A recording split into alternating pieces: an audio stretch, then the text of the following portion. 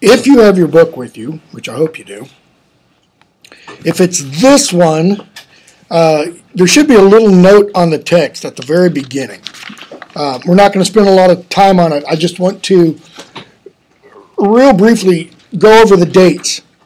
Um, first volume, Fellowship of the Ring, was released in Great Britain 29 July 1954.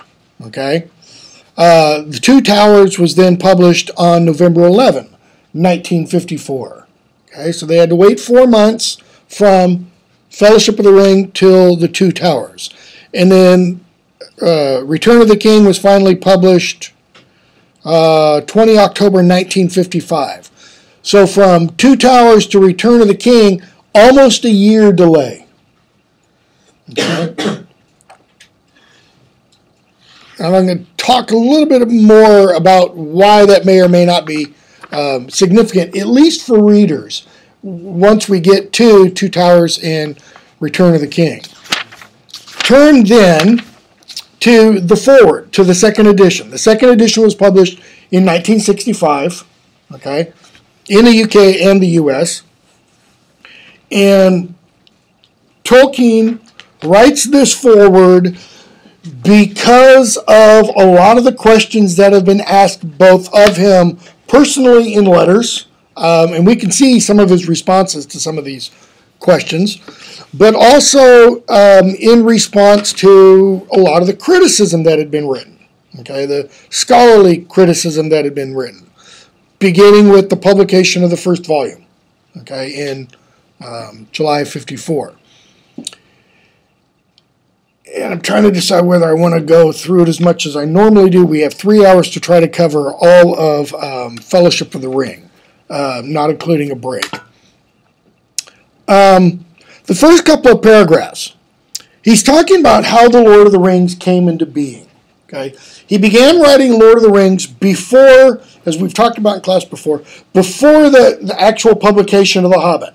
The Hobbit had been finished and completed. It just hadn't been published yet. Okay. In that first paragraph, he talks about, you know, the, the tale is the Lord of the Rings is ultimately linguistic in origin. Well, what does he mean by that? He began writing the tales of Middle Earth, okay, um, back around 1915. And it has its inspiration, the Middle Earth Saga, has its inspiration, if I remember correctly, from one of the Advent lyrics in Old English poetry. And it's this line that, that says, Eala, sorry, Eala Earendel. Okay, which means kind of like behold or lo. Earendel. Earendel's the morning star. Okay. Tolkien takes this, especially this, and this becomes the name Eärendil. Okay? And he starts writing a poem about this, or a history for this, let's say. That blossoms, it go, he works on it over the years, etc. And so he says, you know, that it began primarily linguistically. Why? Because he was working on languages. He was working on developing, creating the Elvish language. Okay? And being a sound philologist, Tolkien knew and understood, and you can see some of this in the fairy story essay. Every language has what? It's I mean it's don't don't think up here, think real, real basic. Real obvious. Like the elephant in the room. Louder. People. Without people, no language. Okay? Every language has speakers. Okay, in other words, what do those people do with their words? Communicate. Okay. What else? What do they do in the evenings? Tell stories. They tell stories. That's why, you know, if you remember the fairy story essay, he quoted Max Muller, who said that uh, mythology was a disease of language. And Tolkien said, mm, no, really not so much. Mythology is what language is ultimately for. is what Tolkien was implying there. So he realized, here I am, I'm creating these languages. I'm creating Elvish, I'm creating a, creating a dwarf, or at that time, a gnomic or gnomish language. This, this is mere abstract futility unless the languages that he's creating have people that use them. So he had to create people that use the languages that he was creating. Now, in order to create people that use the languages he was creating, he has to go back in time. And he has to create the origins of the people. Okay? And he has to create kind of their belief system and their history and their stories and their culture. That's what his son finally publishes as the 12 volume History of Middle Earth. It's what he published in 1977 as the Silmarillion. The Silmarillion is the whole backstory, kind of, to this. That is largely what Tolkien is talking about when he says, um,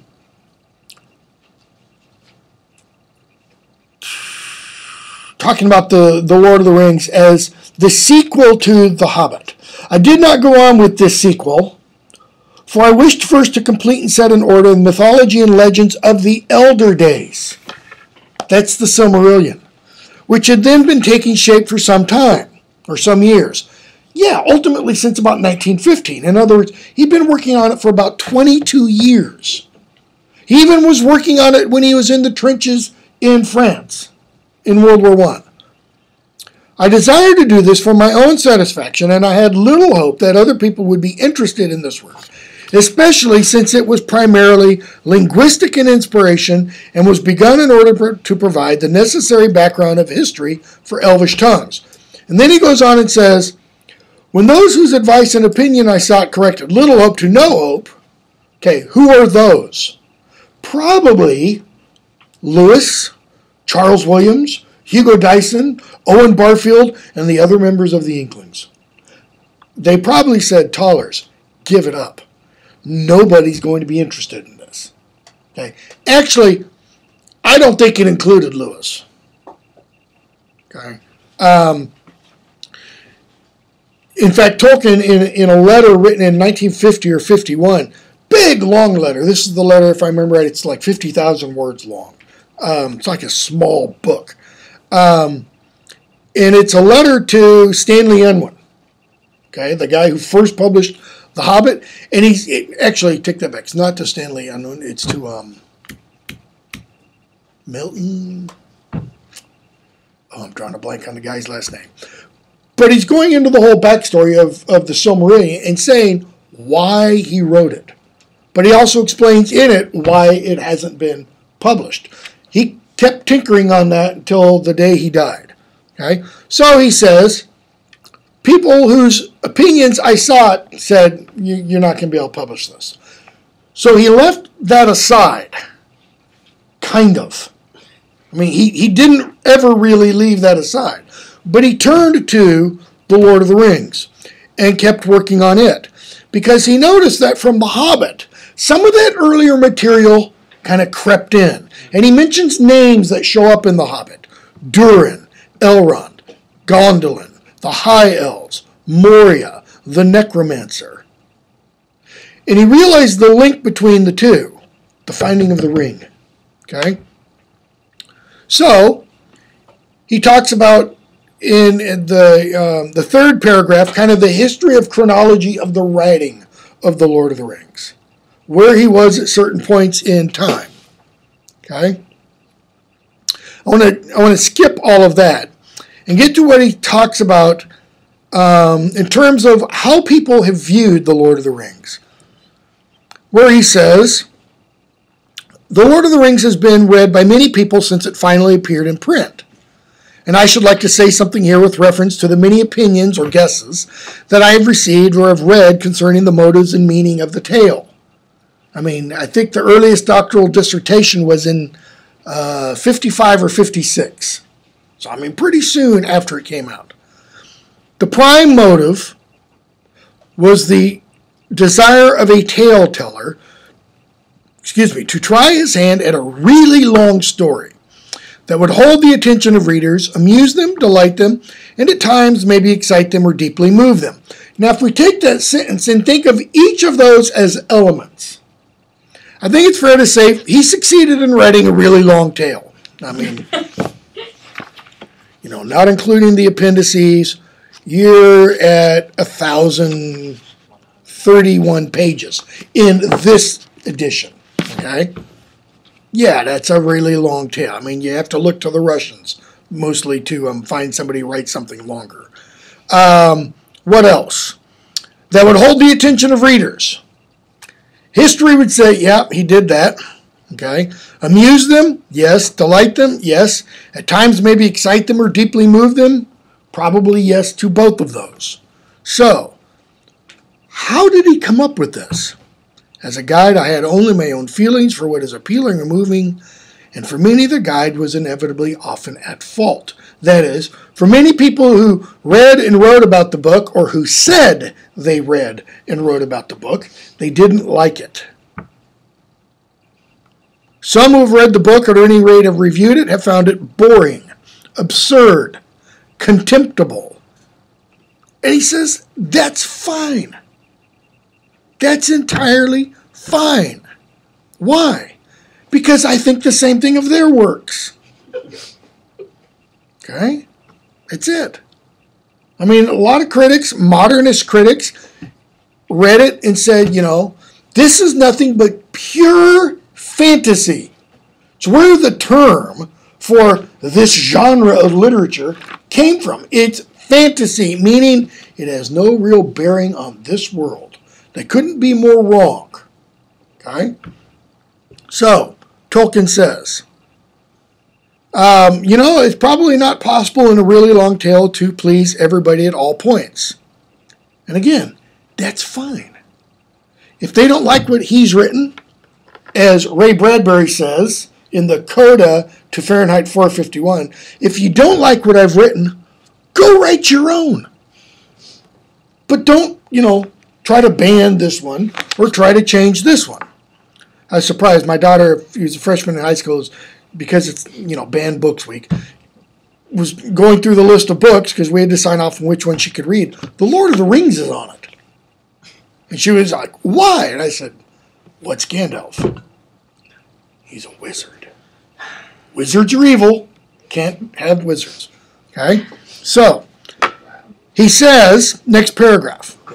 As for the inner, as for any inner meaning or message it has in the intention of the author none. What does that mean? He wasn't trying to shove ideologies into Exactly. He wasn't trying to convey a message. He didn't begin with an idea of how can I, you know, as a Catholic, preach Jesus to them? Or how can I tell a resurrection story? Or how can I preach environmentalism? Okay? Because people on the left and, and right ends of the spectrum have all hailed Tolkien as one of their own. and he would probably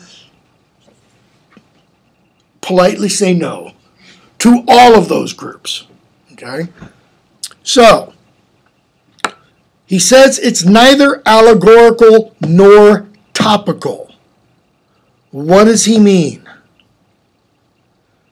Take allegory and put it aside for a moment. What does he mean by topical? That it doesn't necessarily just because it's not allegorical doesn't mean that there's not, um, like I don't know, doesn't mean you can can't learn from it or Right. can't understand more about the world around you from it. But Yeah. it doesn't mean it's directly attached. To Exactly. It's not based upon the events going on in the world at the time that it was written. That's what he means by it's not topical. The ring is not the atomic bomb. Sauron is not Hitler or Stalin. Okay? The free peoples of the West in here are not the Western powers in World War II or the beginning of the Cold War. Okay? It's not topical in that sense. It's also, he says, not allegorical. That is, Sauron is not an allegory for, you know, Stalin again. Okay? It's not where the ring symbolizes pure evil. It doesn't. What is the ring? The ring. An extension of Sauron's. And it's an extension of Sauron's evil. But the ring is just a ring. Mm-hmm. You, you can't take Freud and apply it. Okay? Gandalf's staff is just a staff, it's nothing more.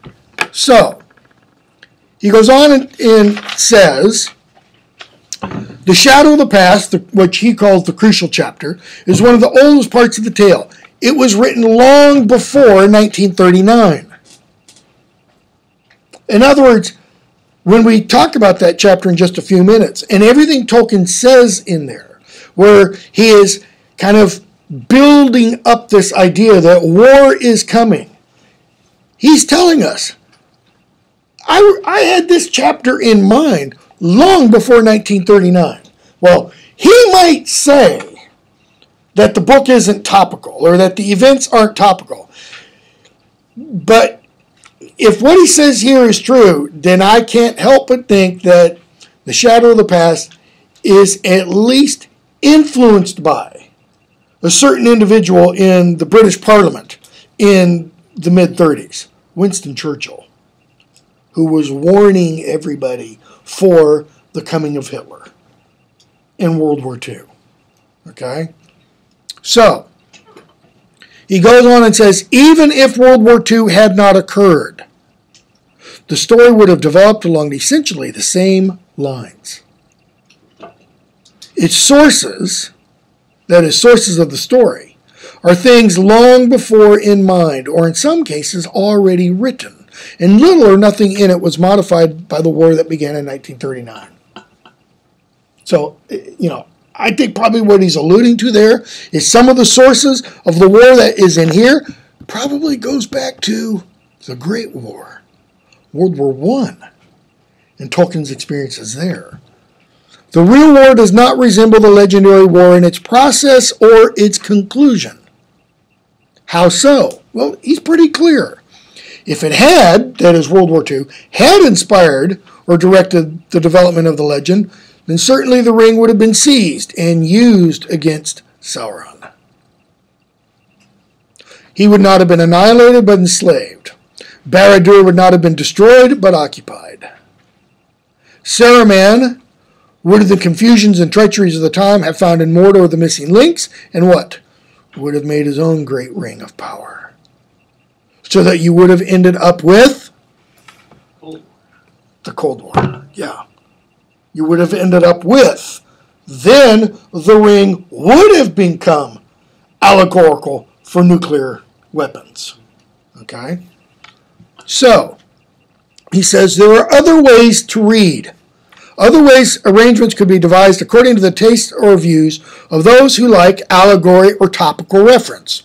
Tolkien says, I cordially dislike allegory in all its manifestations, and have always done so since I grew old and wary enough to detect its presence. Why? Why doesn't he like allegory? He's going to tell us at the end of that paragraph. So he says he prefers history, whether true history or feigned history. Now we kind of think, wait, how can you have feigned history? How can you have make believe history? That's what this entire text is. Exactly. That's what the Lord of the Rings entirely is. It reads like history. It sounds like history. You know, how did people treat Beowulf until Tolkien? It's history. But it's not. It's a poem. It's an artificial construct. Okay? So, Tolkien says he likes history, true or feigned. What? With its varied applicability to the thought and experience of readers. That is, readers can read history, whether it's real history or it's imaginary history. Okay? Spenser's Faerie Queene is kind of imaginary history. But why does he like that? Because it puts all the power in the minds of the readers to do what they want with the text, how they apply it. I think that many confuse applicability with allegory. But the one, applicability, what? Resides in the freedom of the reader. Okay? Whereas with allegory, you have the purposed domination of the author. What's often called, you know, the greatest allegory in the English language. John Bunyan's Pilgrim's Progress. Okay? Pilgrim's Progress, Bunyan has a character named Christian. Guess what he stands for? Christian. Guess what he never stands for? Muslim, Jew, atheist, Buddhist. Always, everywhere, only this guy is Christian. The celestial city that he's heading to is always, only the New Jerusalem, heaven. Okay? Whenever in an, in an allegory you meet characters, their names often tell you, okay, who they are. One of the earliest allegories in English literature is a medieval play called Everyman. Everyman represents every man, and he has friends, good deeds, faith, love, and he has enemies, vice, death. Okay? It's pretty clear what each one of them stands for. So, an allegory, what Tolkien is saying, is the author kind of takes control of your mind and doesn't allow you to freely think. With applicability, the author says, come here, take a look. What do you think? How does this apply in your life? And we'll talk about some of that when we look at the chapter of the shadow of the past and then later on the Council of Elrond. Okay? So, notice what he now admits, however. An author cannot, of course, remain wholly unaffected by his experience. But the ways in which a story germ uses the soil of experience are extremely complex, and attempts to define the process are at best guesses from evidence that is inadequate and ambiguous. In other words, don't try to psychoanalyze me on the basis of this text. Don't try to figure out how I came up with this idea. Because he's saying, I don't really know. You know, the thing I, I say in almost all my classes is how in the world did J.K. Rowling happen to be in that place in that time when she was traveling on that train from Manchester to London so that in one second she has no idea of Harry Potter. And a second later, she has an idea of an 11 year old boy who finds out on his 11th birthday that his parents were murdered by an evil sorcerer and that this evil sorcerer is out to get him. Okay? Where do those ideas, those inspirations come from? And keep in mind what that word inspire means. It means to be breathed in. It doesn't only mean to breathe in. It means it also means something else enters. It's like the word enthusiasm. To be enthused means to be in. It means to have the God come within. Okay? The God of inspiration, as it were. So, Tolkien says, I don't know where this came up with, but he, he doesn't just say, you know, you, you can't try to critique this book. No. He says, one has indeed personally to come under the shadow of war to feel fully its oppression. I don't, about, I don't know about any of you. I've never been in battle. I've never been a soldier. I've had a lot of students who have been. I have had, you know, I had one guy who had to drop one of my classes. It was a graduate Old English course because we were reading this poem called The Wanderer, which is about a soldier who all of his people are wiped out, and it brought his PTSD right to the fore. Okay? Let's look at what Tolkien says here.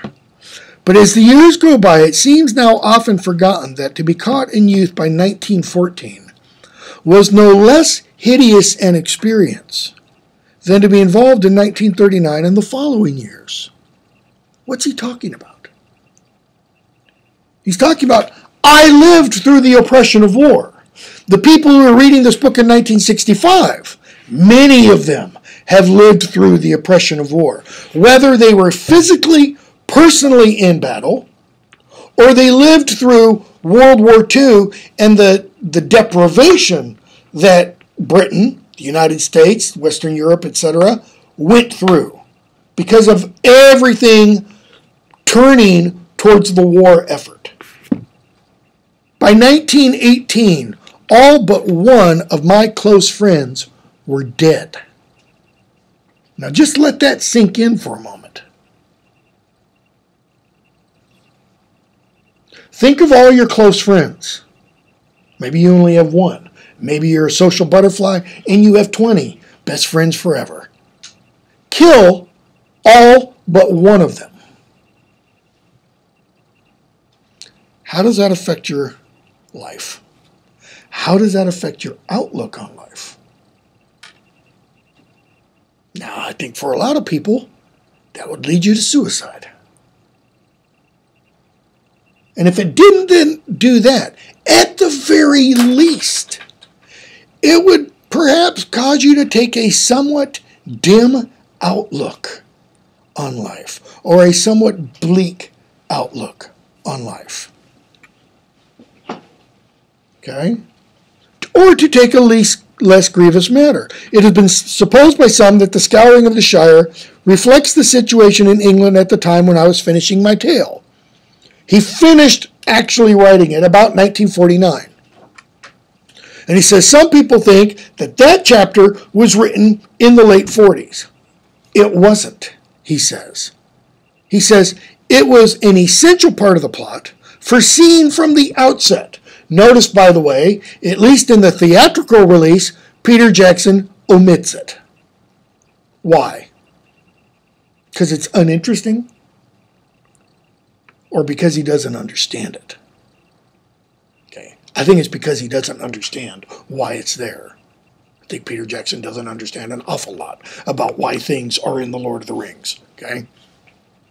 So, he says, you know, that that's not allegorical. He says, um,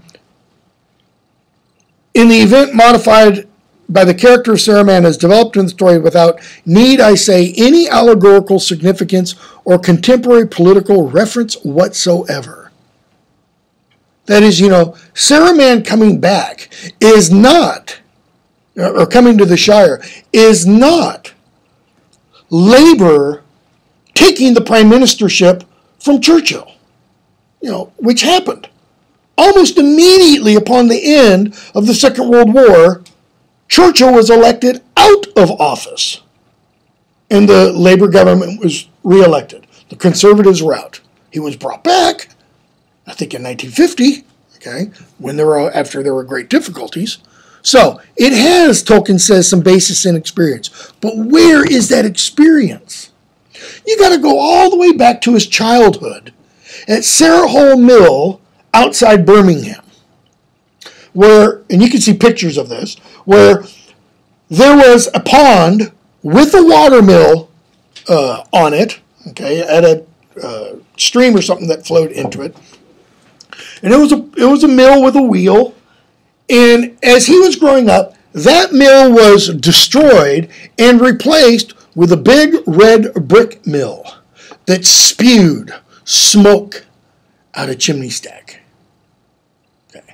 There's your image of Sauron's version of Isengard. A once beautiful pastoral image gets replaced with what? What have we already talked about? Tolkien hated technology, machinery. Okay? Okay, enough uh, with the foreword. Any questions or anything at this point? Um, kind of uh, um the Silmarillion. Is there like a name? Do we know what that means exactly? Because I It's the story of the Silmarils. Okay, because it was talking about the Silmarils in here, and I was I looked it up, and it's like saying they were stones. So, Silmarils are jewels made by an elf, okay. a guy named Feanor, that contain in them the light of the two trees of Valinor. There's a tree tree that kind of lights the day and a tree that kind of lights the night. Okay, this is before the sun and moon are kind of created. Um, and a big giant, giant monster spider named Ungoliant is prodded by Melkor, who is the Satan figure in Tolkien's cosmology, to come suck the light out of the trees, to kill the trees, to make the the elves angry and all this kind of stuff. And the trees are killed, but the light of the trees is preserved in the Silmarils. And so the gods go to Fëanor and they say, "Let us have the Silmarils so that we can remake the trees from the light of the Silmarils." And he says, "No." And this kind of kind of kind of represents the fall in Middle Earth. Because the elves then start killing each other. They flee Valinor, they go off to regular Middle Earth, and all kinds of problems um, arise out of that. And all of that continues into this. We're going to see when we do um, the Two Towers. Sam's going to have an epiphany. He's going to realize that they are in the same story that is told in the Silmarillion, in the tale of Beren and Luthien. Okay, he's going to come to this realization that the story just goes on. Like the road that Bilbo sings about, the road goes ever on. Guess what? The story does too. Only thing that happens differently is here's the road, and we're making our way on it, and at some point we fall off the side of the road. But when we fall off, somebody else comes on. Or if you want to use the other image of a book, the page of our chapter turns and our chapter ends, but another chapter begins. Okay? Notice, um, I'm not going to say anything about the first chapter other than this. Notice the title. What was the title of the first chapter in The Hobbit? An unexpected. An unexpected party. This is a long expected party. Nice little way that Tolkien links the two. Okay? And all I want to say, um, actually, I don't want to say anything about it because I'll, I'll get way off. Bilbo leaves. He leaves the, ri- the ring behind for Frodo.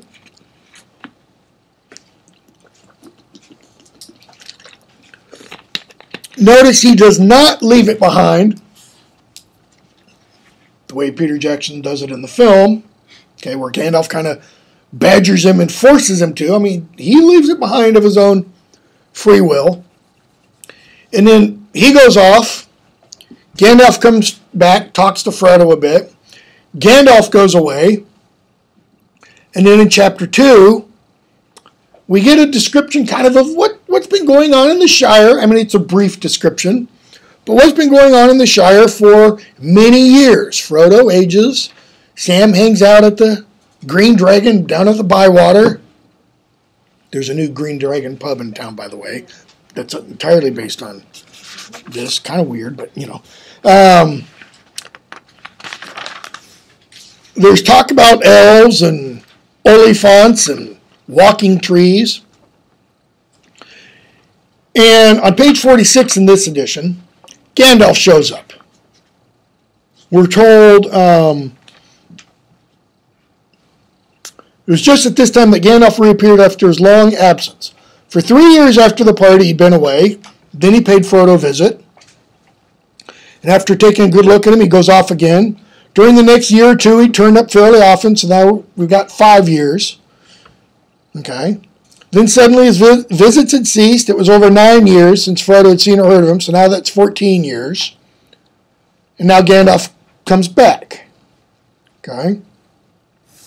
And they start to talk, and then the next morning, they're sitting outside smoking, and Frodo says, um, You say the ring is dangerous, and you didn't want to talk about it last night. And it's far more dangerous than I guess. In what way? Gandalf, in many ways. Notice, Frodo asks in what singular way? Gandalf, no, no, no. you don't understand, Frodo. This ring is really dangerous. In many ways, it is far more powerful than I ever dared to think at first.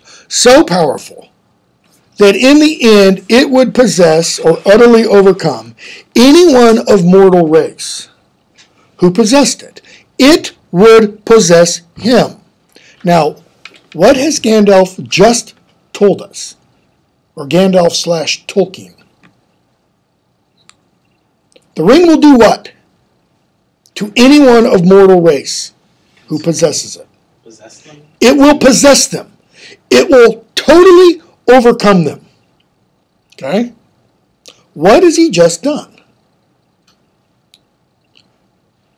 He's told us what's going to happen to Frodo. Is Frodo an immortal? No. The ring is Frodo's. If you possess the ring long enough, he says, it will possess you. Okay? And so he goes on and he gives the history of rings. Talks about the elven rings, talks about the lesser rings, and then he talks about the great rings, the rings of power.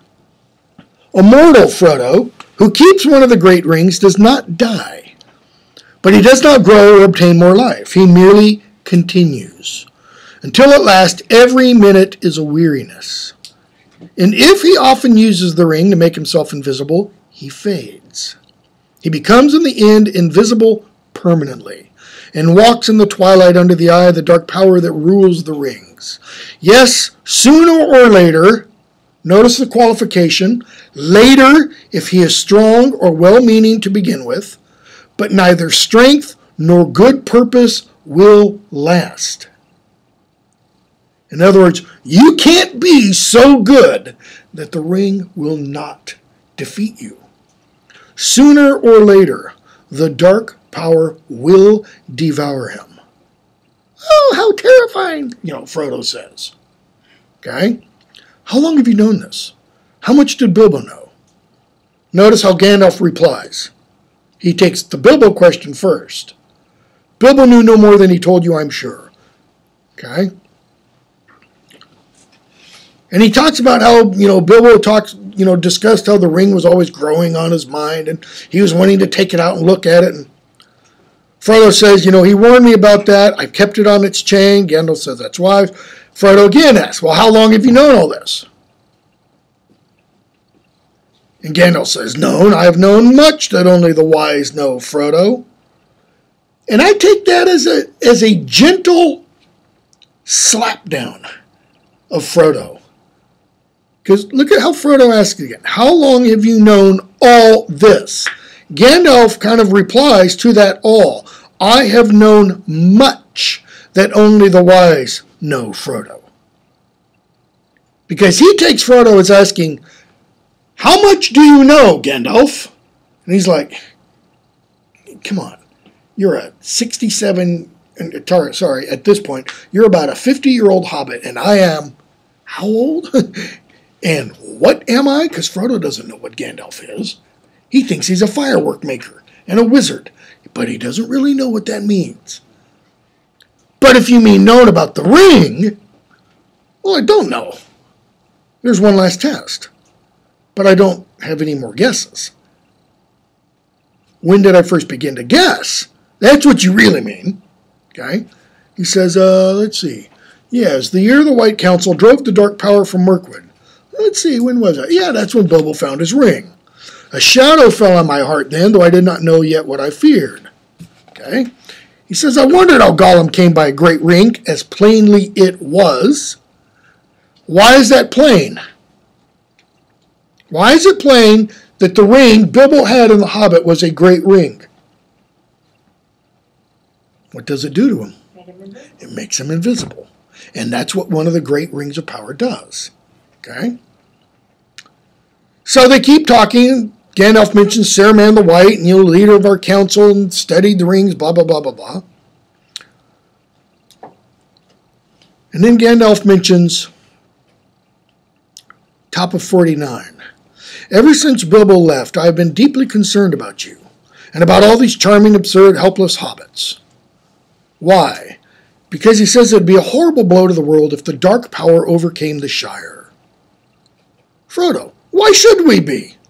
Why would he want slaves like us? What are the two reasons Gandalf gives? Malice and revenge. Okay, revenge is understandable. You've got the ring, it belongs to him, he wants it back. Malice? What's he mean by malice? He just enjoys pain for the sake of it. He's Pure evil. Yeah, pure evil, pure hatred. It's it's not a hatred that is caused by something. You took this from me. Or you're better than I am. It's just sheer joy of creating pain. Frodo, revenge? Revenge for what? I still don't understand what all this has to do with Bilbo and myself and our ring. He says, um, everything. Give me the ring for a moment. Frodo takes it off. Gandalf holds it up. See any writing, anything on it? No, no, it's clear. And Gandalf pitches it in Frodo's fire. Frodo screams. Gandalf gives him a command to wait. And then notice what he does. He pulls the ring out of the fire with tongs, and he says, Frodo, hold your hand out. Uh, I don't know about you, but a gold ring that's been in fire is going to be really, really hot. He goes, no, no, don't worry. It's it's plenty cool.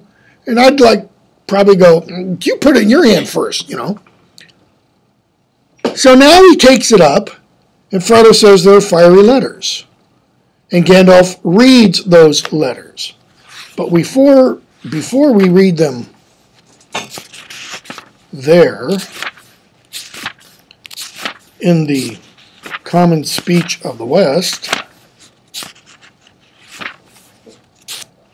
read them in Morgul speak, the language of Mordor. Ashnaz Gdurbatulak, Ashnaz Gimbatul, Ashnaz Krakatulak, Agburzim Ishi Krimpatul. One ring to rule them all, one ring to find them, one ring to bring them all, and in the darkness bind them. And he goes on and says, it's only two lines of a much longer verse. And he reads the or he recites the verse and says, Frodo, guess what? You won the jackpot. This is the master ring, the one ring to rule them all. This is the one ring that he lost many ages ago. To the great weakening of his power, he greatly desires it, but he must not get it.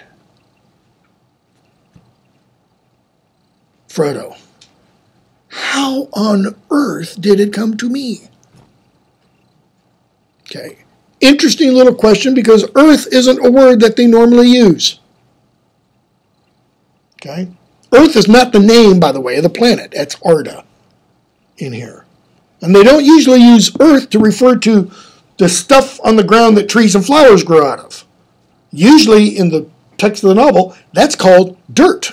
It's not that word earth isn't used. I'll bet, I could be wrong here, but I'll bet that's one of those little errors that Tolkien wished he'd gone back and corrected. But he was just going to be silent about it. Okay? So, how on earth, he says, did you get it? Well, let me tell you the story. And he goes on and he talks about Sauron.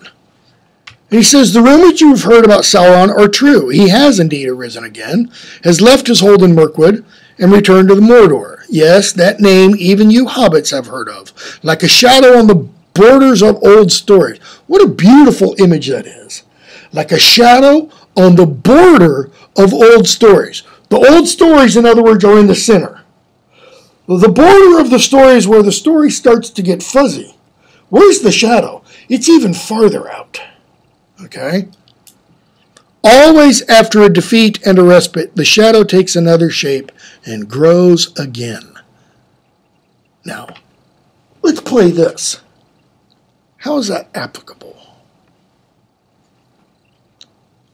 What does he mean? Always after a respite, the shadow takes another shape and grows again. George Bush was famously wrong when he delivered a speech to a joint session of Congress on September 20th, 2001. Okay? Here's where he was famously wrong. He was right in a lot of what he said, but he was wrong when he said that we're going to have a war on terror and the goal is to defeat terror. How are you going to defeat terror? I mean, if you think about it logically, there's only one way. And what will be the result? In order to fully defeat terror, everybody's got to be killed but one person. Because as long as there are two people and they disagree, you can have terrorism. Okay? Frodo, in response to Gandalf's, always after a defeat and a respite, the shadow takes another shape and grows again. Okay, now, Tolkien said this was written long before World War II. But what happened between 1918 and let's say 1935? We did see the rise of Hitler. We did see in 1933 Hitler become chancellor and president. We did see Kristallnacht in 1936. Okay? Frodo, I wish it need not have happened in my time. Okay? What does that mean? Should it happen to someone else? Yeah. I, you know, I am convinced. He probably wouldn't say it, but I am convinced that when George Bush was in Florida on September 11th, 2001, and Andy Card comes up to him when he's reading a story to those kindergartners or first graders and whispers in his ear, Mr. President, we're under attack. I kind of imagine his first thought is, why didn't this happen to Bill Clinton? Why didn't this happen a year ago? Or 10 months ago? Why now? I mean, the economy was in the tank at that point, and it was going to get even worse in the tank very shortly. I wish it need not have happened in my time. That's a big, long way of saying, why me? Gandalf, so do I. What's the significance of Gandalf, so do I? It's kind of like a pat on the back. It's okay, Frodo. I feel the same way. But, and so do all who live to see such times. That is, uh, no kidding, everybody does. But that is not for them to decide. In other words, we don't get to decide what cards were dealt. What do we get to decide? How we play them. Which means what? In the context of this and in the context of the real world, like 9 11. How do we respond? How do we react? How do we behave? Notice all that comes back to what? we, our actions, our choices. Gandalf, it's not for them to decide. All we have to decide is what to do with the time that is given us. In other words, Frodo, we have this window of an opportunity. We have to decide what to do. Notice, what could they do? Nothing. Just pretend it's not real. Pretend it's not really happening. Okay? And already, Frodo, our time, Frodo, our time is beginning to look black. Meaning, the storm clouds are coming, and we're going to be hard pressed. The enemy is fast becoming very strong. His plans are far from ripe, I think, but they are ripening. We shall be hard put to it. We should be very hard put to it, even if it were not for this dreadful chance. I mean, this is very similar to language, you know, we've heard in the last couple of weeks out of the administration about ISIS. You know, are, are they a, a problem just over there? No. According to what we hear from the administration and the press, they're a problem here. You know, Islamic terrorists have actually been arrested on a border city just on the other side of our border with Mexico. Okay, four of them. Islamic prayer rugs have been found in Texas, in Arizona, on our side of the border. Okay? Uh, probably not left by little Hispanic children fleeing to America for a better life. The enemy still lacks one thing to give him strength and knowledge to beat down all resistance. He lacks the one ring. Okay, so applicability says do whatever you need to do to keep him from getting the one ring. Ah, is it do whatever you need to do? What aren't they willing to do? We find out. Yeah. They can't wield the ring. Okay? So, he goes on and talks about the elven rings. He talks about the nine rings he gave to mortal men. What happened to them? He talks about the seven dwarf uh, rings. And he says, so here's how the thing is now. The nine he has back. The seven also, or they're destroyed. The three are hidden, but he's not concerned about that. All he needs is the one. For if he gets the one, what will happen? He will rule all the others. That is, he'll be able to command the three that the elves have hidden. If he recovers it, then he will command them all again, wherever they be, even the three, and all that has been wrought with them will be laid bare, and he will be stronger than ever. And here's the chance, Frodo. He believed the one had perished, that the elves had destroyed it as should have been done. But he knows now that it has not perished, that it has been found. So he's seeking it, seeking it, and all his thought is bent on it. And I think there's a little error there, too. Why in the world would Sauron think the one had been lost, destroyed? If he poured most of his power into it, he wouldn't be able, he, Sauron, wouldn't be able to grow back into the power that he has now if the one had been destroyed. Okay? So Frodo asks, why wasn't it destroyed? He clutches the ring. And Gandalf goes on and talks about Elendil and Gil-galad and Isildur, etc., and the ring being cut from Sauron's hand, and Isildur taking it, okay, and Isildur, the ring slipping from his hand and being shot by orcs, and he goes on and tells the story of Deagol and Smeagol. And, and he actually, you know, has dialogue to go along with the story and tell him everything that happens. Frodo, Gollum? Gollum? Do you mean that this is the very Gollum creature that Bilbo met? How loathsome. I think it's a sad story. Notice, Frodo, Ooh, that makes my skin crawl. Gollum, that makes my heart weep. I mean, Gandalf, that makes my heart weep. Gandalf feels pity. Frodo feels disgust. I can't believe that Gollum was connected with the hobbits, however distantly. What an abominable notion. Well, why not? He doesn't want to be associated with them. Why else? What that what might that say about hobbits? They're susceptible. Okay. Let's do some applicability.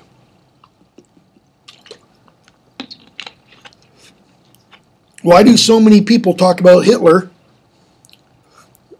that he was a crazed madman? Because they don't want to accept the fact that they or someone that they know that's perfectly normal could become what Hitler became. Because, exactly, because we don't want to acknowledge that uh, inside each of us, maybe, that darkness resides. C.S. Lewis said about Screwtape letters, he was once asked, you know, something about it, and he said, you know, of all of his books, it was the easiest thing to write, and yet it was also the hardest. it was easiest because all he had to do was to take all those Christian inhibitions, those, you know, thou shalt nots, etc., and push them aside. All he had to do is, is to let his own morality, to take his own morality and push it aside, and just let the darkness within out. And he said, and that was really easy. That's why he also says it's a lot harder to write a really good, morally upright character than it is to write a villain. Because a villain, you just go, oh, that feels good. And you just let it flow on the paper. Okay? Frodo doesn't want to acknowledge that Gollum could be his brother. Gandalf, it's true all the same. In other words, it doesn't matter what you think, Frodo. Your thinking it's not true doesn't make it any less true. What about their origins, at any rate? I know more than hobbits do themselves. And he says, and besides, Bilbo's story correlates, and they knew the same riddles. Okay? So, they keep talking about the ring and such.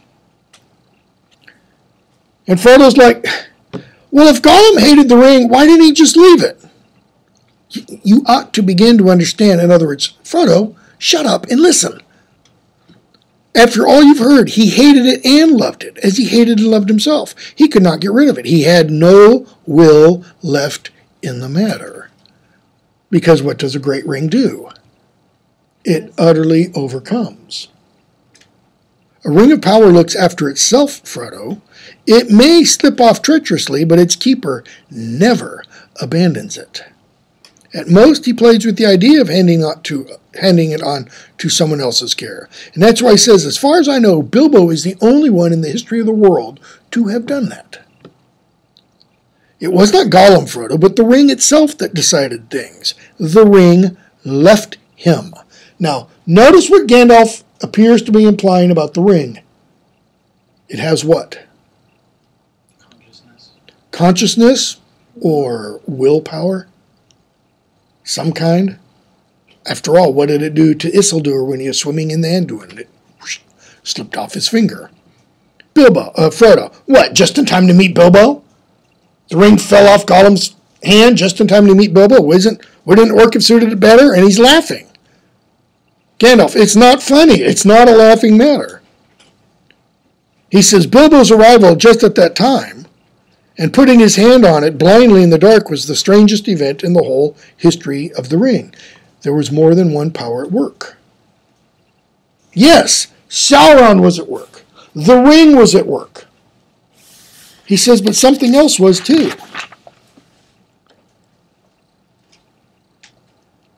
Behind that, there was something else at work beyond any design of the ringmaker. I can put it no plainer than by saying that Bilbo was meant to find the ring and not by its maker. Now, if Bilbo was meant to find the ring, what must there be behind this? A menor. we use or to put on words to make an agent of somebody. Somebody who meant something. Okay? An intender, in other words. In which case, you also were meant to have it. And that may be an encouraging thought. Frodo's like, What? Bilbo was meant by something to have the ring, and I am meant to have it because Sauron, the Satan character of Middle Earth, wants it? And little old me, you know, three foot hobbit against the Dark Lord? Yeah, I feel really good now, Gandalf. For, no, no, I'm not. I'm not sure that I understand you. How have you learned all this about the ring and Gollum? Do you really know it all, or are you just guessing still? Notice how he puts that. Do you really know it all? Are you a know it all? Gandalf. Whenever someone's eyes glint, that's never good. It either means they're angry or they're evil. Gandalf looks at Frodo and his eyes glinted. I knew much and have learned much, but I am not going to give an account of all my doings to you, you little. and that's what he's saying. How dare you to ask me even such a question? The history of Elendil and Isildur and the One Ring is known to all the wise. You didn't know that, did you? Guess what? You're not among the wise. Your ring is shown to be the One Ring by what? The writing on it. Okay? But Gandalf does go on and say, I talked to Gollum. And he goes on and says, and guess who else has talked to Gollum? Sauron. And he says, um, the enemy knows about the Shire, and he knows of hobbits. And he says, Indeed, Frodo, I fear that he may even think that the long unnoticed name of Baggins has become important. But this is terrible far worse than the worst that I imagined from your hints and warnings. Oh, Gandalf, best of friends, what am I to do? For now I am really afraid. What am I to, to do? What a pity that Bilbo did not stab that vile creature when he had a chance. You know, notice the motivation for Frodo's comment. He's scared. He is afraid. What a pity that Bilbo didn't stab him when he had the chance. Look at Gandalf's reply. Pity? It was pity that stayed his hand. Pity and mercy, not to strike without need. How does Frodo mean pity? And then how does Gandalf mean pity?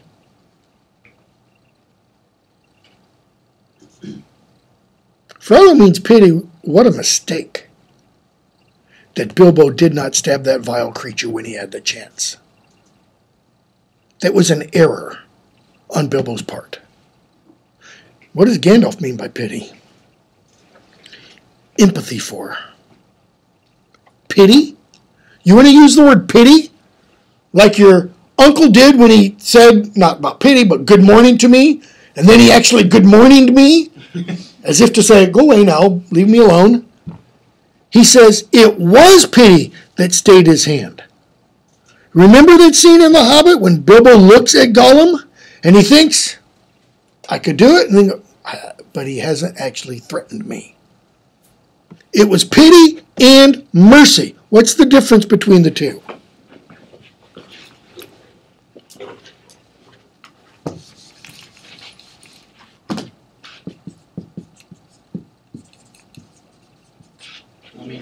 First, its basis sense, I guess pity is a pity is a feeling and mercy is an act. Yes, exactly.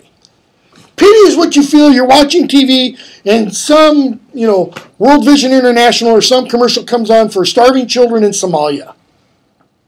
And, and you feel horrible for them because there's nothing you can do. Or you're walking down the street and you see a squirrel or a cat that's been hit by a car and it's just, you know, in the throes of dying. And there's nothing you can do for it. Mercy, however, is when you can do something. You're walking down the street and somebody asks you for money because they're homeless. Or it's winter and somebody asks you for a coat because they're cold. There you can do something, or you cannot do something. Either way, it's a choice of an action. Mercy is when somebody is under your power and you can do something for them. Usually, when we talk about mercy, it's putting this emotion into action. Okay? Pity and mercy. What? Not to strike without need. Notice, Gollum was under Frodo's power. Frodo was invisible. Frodo had Sting. Bilbo? I'm uh, sorry, Bilbo. Bilbo was invisible and had Sting. He could have lopped Gollum's head off, and Gollum wouldn't even wouldn't even have known it. But he doesn't. That's his choice. That's his action. Not to strike without need. No. So what does he say? and he has been well rewarded, Frodo. Be sure that he took so little hurt from the evil and escaped in the end. Why? Because he began his ownership of the ring so.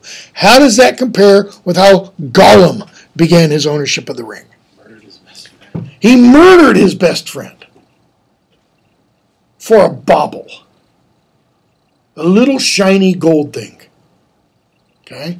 Frodo could have killed Gollum to escape. Okay? He began his ownership of the ring so, with pity. How has this little speech fallen on Frodo's ears? I'm sorry, but I'm frightened, and I do not feel any pity for Gollum. In one, out the other. But notice at least Frodo is being honest here. What has he said? I'm frightened, and I don't feel any pity for Gollum. So why doesn't he feel the pity? What's he frightened of? Uh, big guy in black, Sauron? Yeah. He's frightened for his life. He's thinking self defense, self preservation here. Okay? And when he says, I'm sorry, he's not serious. He's not saying, Oh, Gandalf, please forgive me. I, I really am sorry. No. Gandalf, you haven't seen him.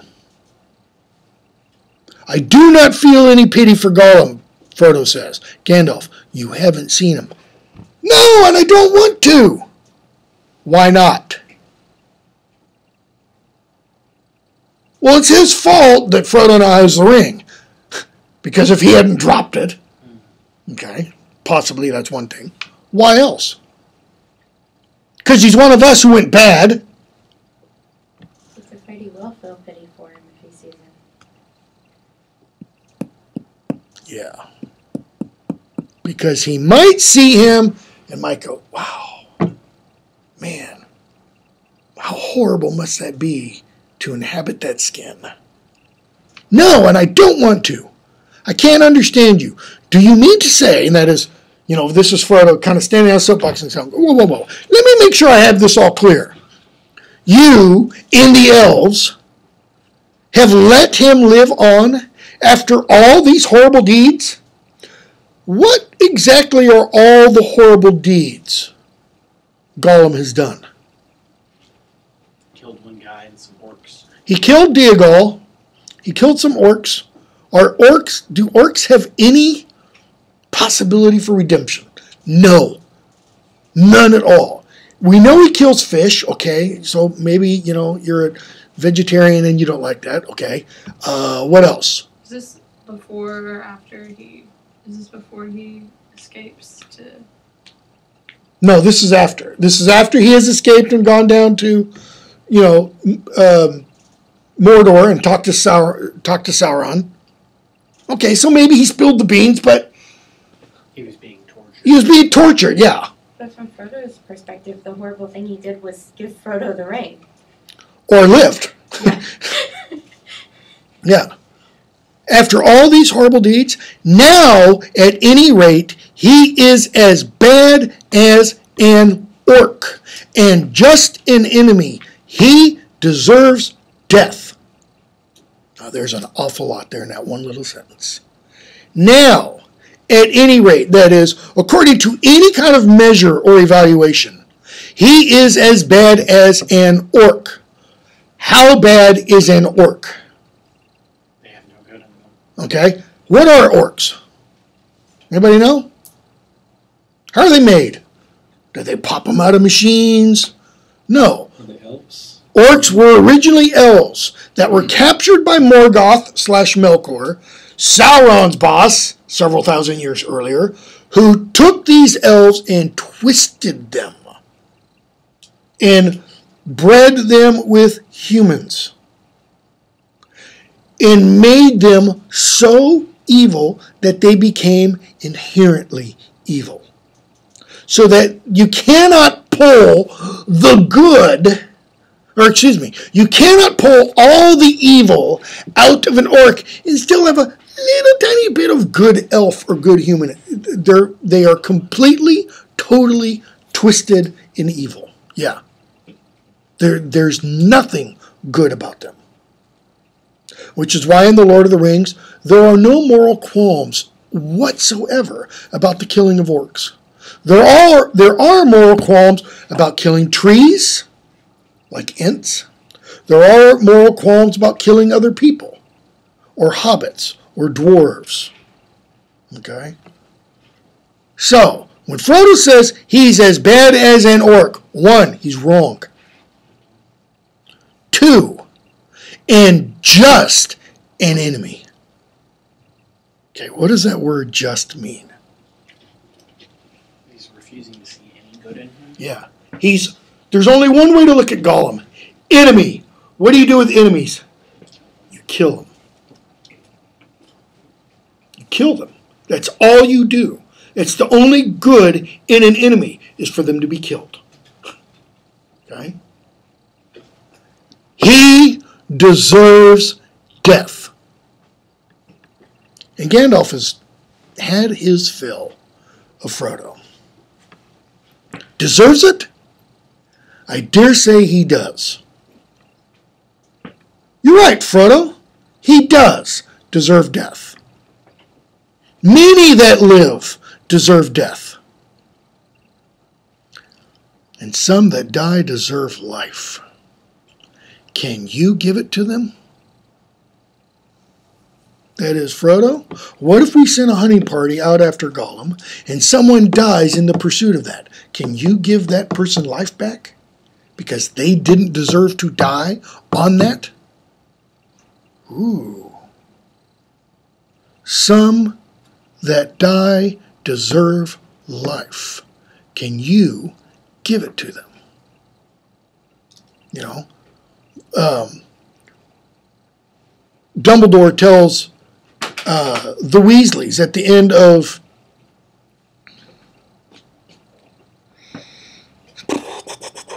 at the end of book four. Actually, it's to Sirius when he and Harry are up in uh, Dumbledore's office and Sirius is there, and Harry sees Cedric Diggory's body. And Sirius goes, "Diggory back from the dead," and Dumbledore goes, "No, sorry, there's no magic really that strong." Okay? There's no magic that strong. Then do not be too eager to deal out death in judgment. Why? It's not your place. It's not your place. Why else? What if you make a mistake? What if the person you execute isn't just as bad as an orc and just an enemy? You brought that sin upon yourself. Okay? Look at what Tolkien writes next. I have not, um, for even the very wise cannot see all ends.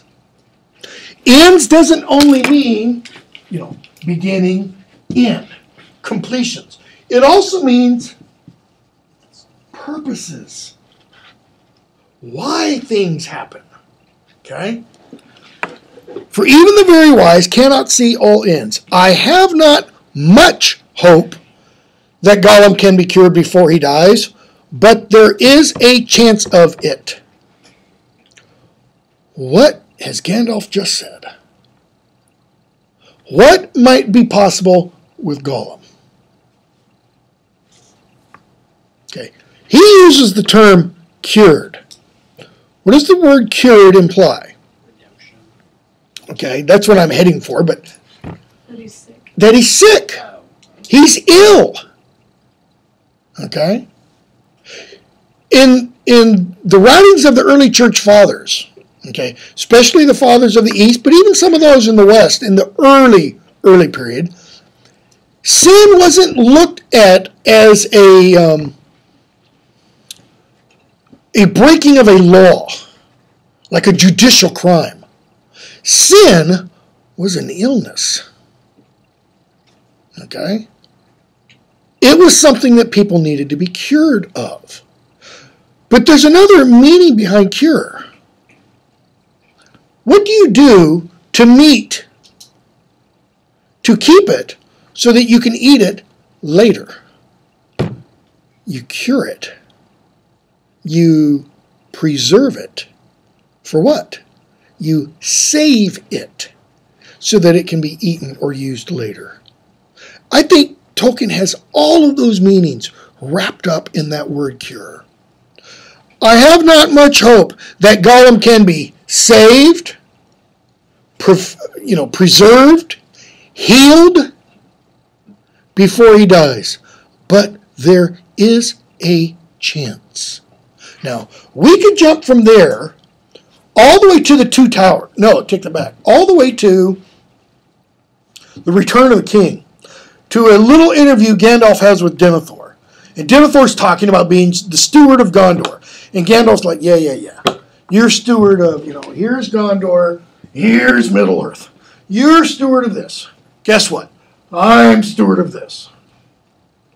He says, you know, frankly, if Gondor gets wiped out overnight, and yet one thing lives through the night that can bloom and grow tomorrow, I will not have wholly failed.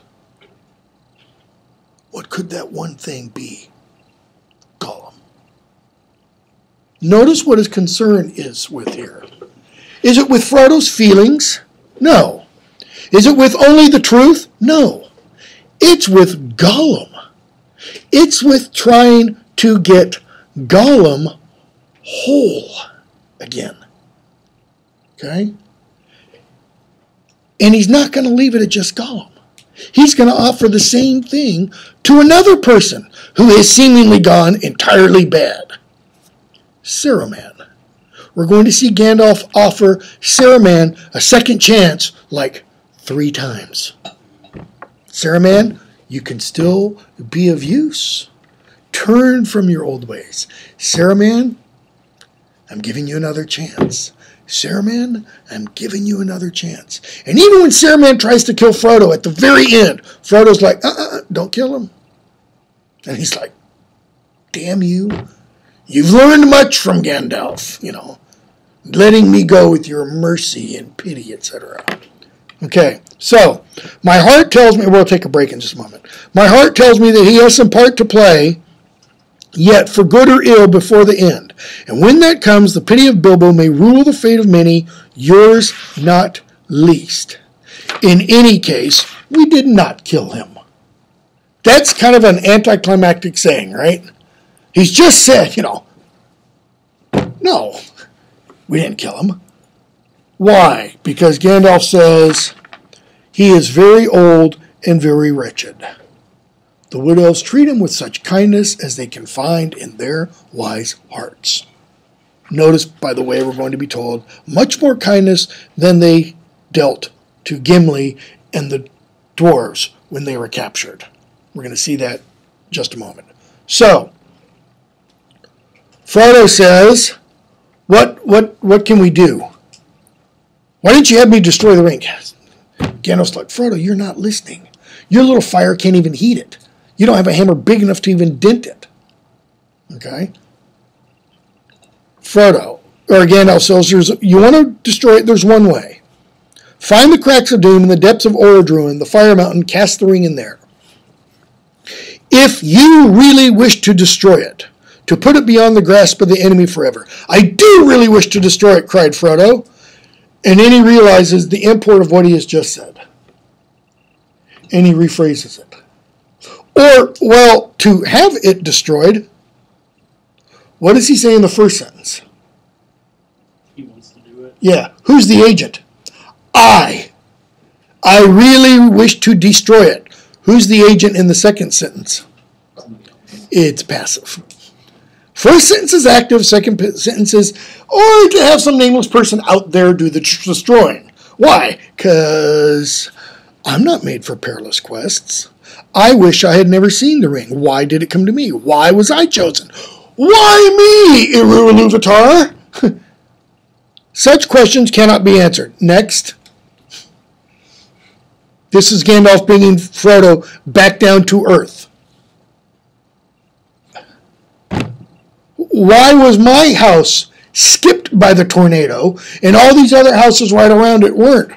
people ask when their houses are not destroyed by tornadoes and all their neighbors are. Why did I not take that flight today when it poof? Why did I not go into work today on September 11, 2001? And all my friends did. Okay? Such questions cannot be answered. You may be sure, however, that it was not for any merit that others do not possess, not for power or wisdom at any rate. That is, you weren't chosen because of your great power or your great wisdom, obviously. But Gandalf says, You have been chosen. And therefore, what do you do? You must use such strength, heart, and wits as you have. What's he mean, strength, heart, and wits? You must use whatever abilities you've been blessed with. Frodo.